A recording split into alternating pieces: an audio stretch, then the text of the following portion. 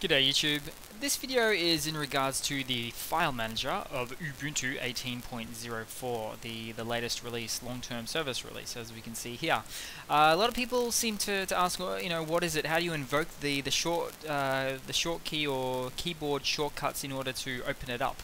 Now, for example, uh, this uh, I'll show you in the terminal, but this is actually uh, the same file manager that has been used in previous versions of Ubuntu even before the new GNOME desktop interface was uh, put on. So if I were to type in the following, let's see, uh, Nautilus, which is actually the name of the, the, the file manager here.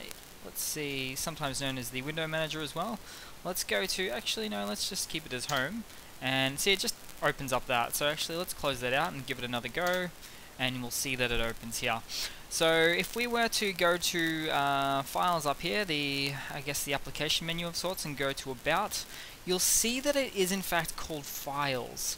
But uh, it's like called GNOME files as it relates to the GNOME desktop, but it's actually Nautilus, and that's how you invoke the command for for actually opening it up through the terminal and indeed through um, sh uh, keyboard shortcuts that you create.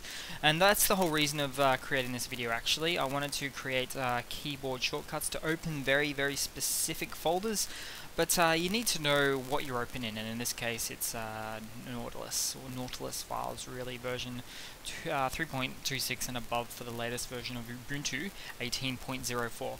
So a little bit of a messy video guys, um, but that's pretty much what's going on there, so I hope you've enjoyed, and uh, just a quick one. Cheers guys, hope you've enjoyed.